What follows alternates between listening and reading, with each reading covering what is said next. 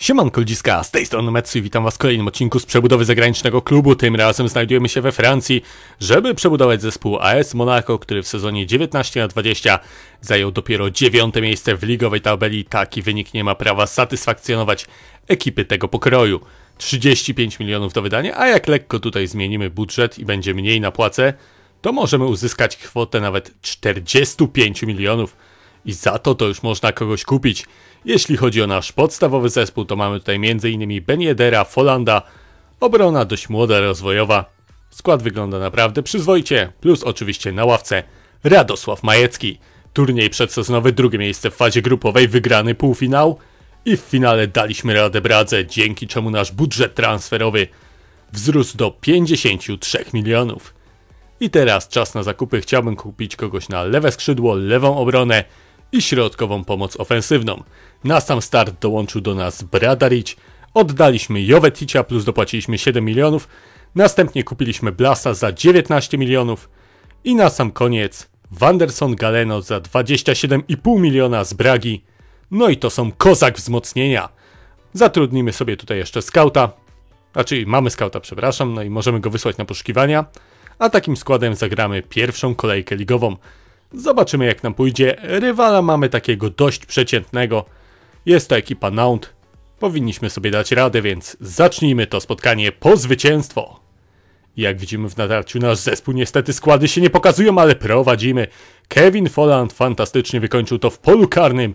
I 1 do 0 dla Monaco. Wreszcie wróciły składy, ale nasza gra jest nadal wyborna. Świetnie to rozegraliśmy 2 do 0. Kapitalnie. Gołowin to wykończył. Pięknie. Jak widzimy, nasi rywale się nie poddają. Idą po swoje, chcą zdobyć bramkę.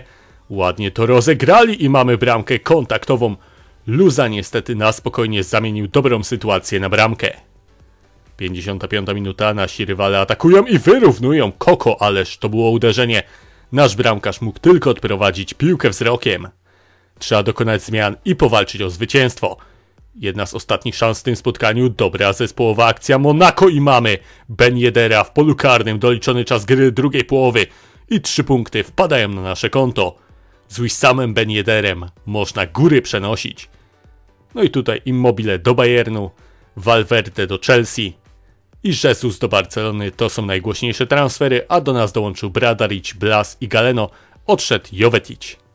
No i tutaj Ryu zostanie przeniesiony do pierwszej drużyny, bo wygląda całkiem obiecująco. Po 10 kolejkach jesteśmy liderem League E, 25 punktów na koncie. PSG nie spisuje się najlepiej, 7, 7 wygranych, 3 remisy jak na tą drużynę to jest dość przeciętny wynik. Oczywiście mówię o FIFA. A jeśli chodzi o nasz podstawowy skład, to piłkarze fajnie się tutaj rozwijają, mają coraz to wyższy overall, no i z kolejki na kolejkę jesteśmy coraz to mocniejsi. Z PSG wygrywamy 1 do 0, Badiashile, idealnie nasz środkowy obrońca się zachował. No i tutaj niestety jeden z zawodników Florentino został odwołany przez Benfica z wypożyczenia, a my szybko odpadamy w 1.16 Pucharu Francji z Niceą.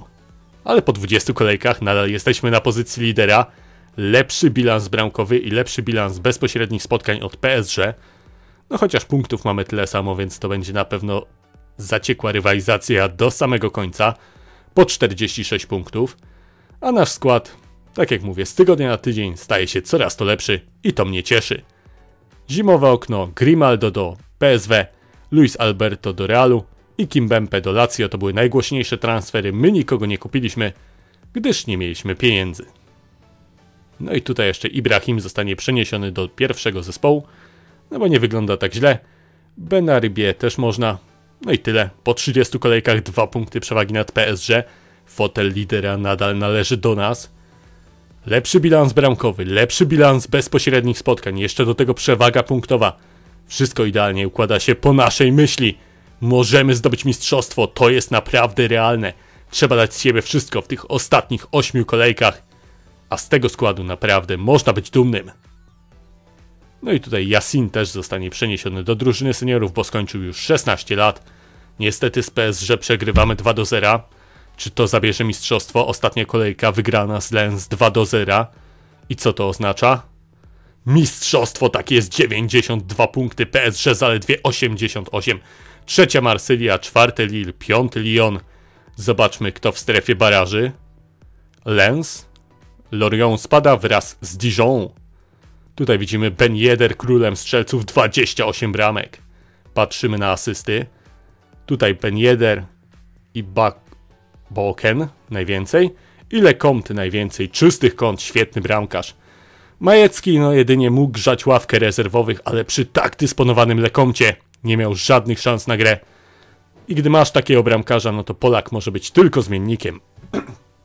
No tutaj trzeba było sobie zobaczyć naszego Majeckiego, no ale powiedzmy sobie szczerze, szans na grę to on nie miał. A teraz zobaczmy indywidualne statystyki, kto miał najwięcej występów.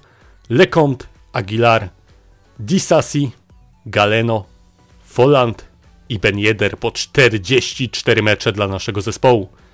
Patrzymy na bramki. Tutaj trochę trzeba będzie do góry podjechać, żeby zobaczyć najlepszego strzelca, a jest nim Wissam Ben Yedder, drugi Martinsz, a trzeci Gołowin.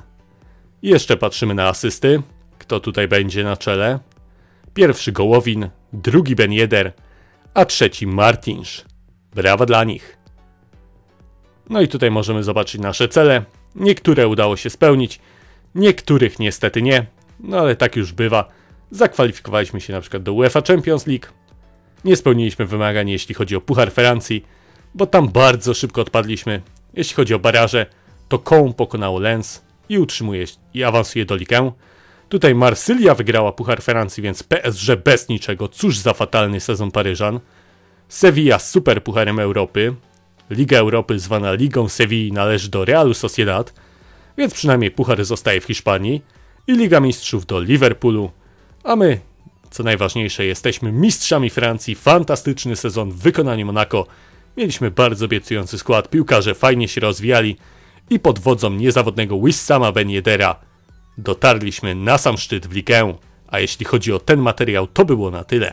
Bardzo dziękuję Wam za jego obejrzenie i oczywiście zapraszam Was na wszystkie pozostałe materiały na kanale. Trzymajcie się!